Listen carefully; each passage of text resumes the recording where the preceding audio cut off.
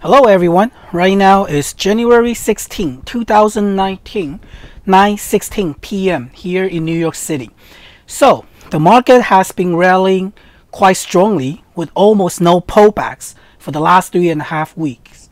So, the question on everyone's mind is is the market due for a correction, a pullback, or is the market going to go continuing higher?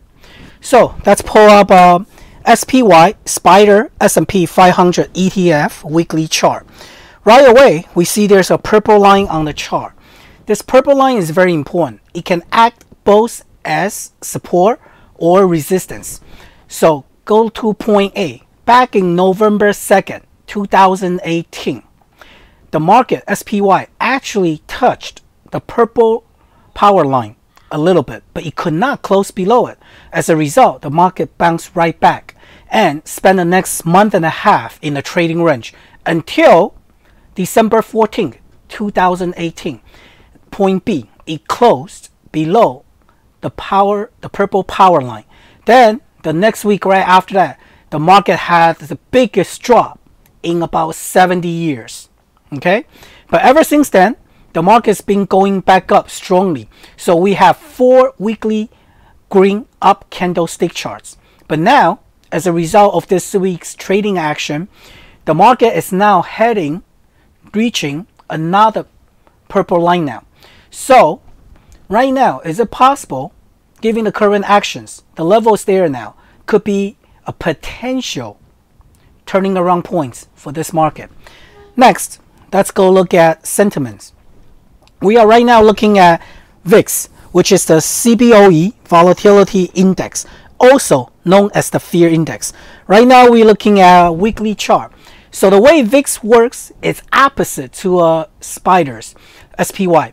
So when SPY been going up, VIX will be going down because when the market goes up, people's fears subside, so fears gets less, it goes down.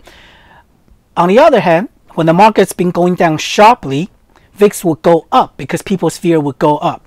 So right now we're looking at a weekly chart. Again, you'll notice the uh, purple power line. It acts uh, either as a strong support or strong resistance. So interestingly, now look at it. Since the end of last week, VIX on the weekly chart, it did touch the purple line, okay? But it could not close below it. And this week, right now, of Wednesday, it actually tried to bounce off it. So here's telling us something very interesting. Even though for the past week and a half of trading, markets has been going up, S&P's been going up, but the fear index hasn't really dropped below the support level. So this is a very strong indication indication telling us that what we're experiencing right now is, you know, more of a strong bear market rally rather than a V-shaped recovery. Okay, let's go to the daily chart. On the daily chart, okay, right now we're looking at the VIX daily chart. Look at it. We look at the uh, one in the yellow rectangular box. This is last two days, including today's trading action. Yesterday, it actually almost have a doji. Okay, that's kind of like close and opening price almost the same price, but slightly to the upside. But today, however, the VIX actually closed near the end, near the high toward the end. So that's why this is a strong um, up green candle. And if you look at the uh, VIX index, this is a daily chart, since December 26, we had nothing but red candle. So that means the fear is being subsiding as the market been going up. However, since yesterday, yesterday is kind of like um, um, break even, a push, okay? But today, even though the market closed up higher, okay, but the fears have been going up.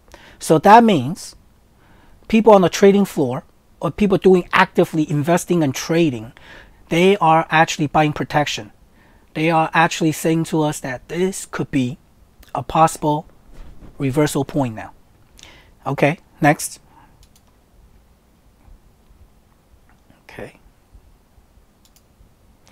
Let's look at TVIX. TVIX is the double leverage VIX short-term volatility ETF. we cannot trade the VIX directly. So we have to trade these uh, ETF. And um, right now there are four ETFs that are most liquid, the volatility ETF that I would suggest that if you're going to trade at all, I suggest you trade them. They are TVIX, UVXY, VXX, and SVXY. So look at it. This chart is very similar to VIX. Uh, for this chart, since December 27, that's where the line is.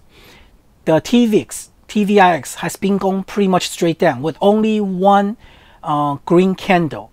So that shows that on this entire move up, there's no fear in the market except today. Today, the TVIX actually opened at lower low, but throughout the day, it's been going up. So that means even though today, as the market has been going up, the fear is been building among the traders. People are buying protections. They are anticipating the market might be going down. So from the sentiment wise, this is where we stand. So basically, to recap, the market has been rallying rather strongly for the past three and a half weeks, but right now it's reaching its first sign of possible reversal point. And if right now it can close and break above the purple line, right now we're looking at S&P again, strongly, then it can continue higher. But more likely than not, we are headed for a reversal. Okay, so um, we'll see how the market is going to end it up.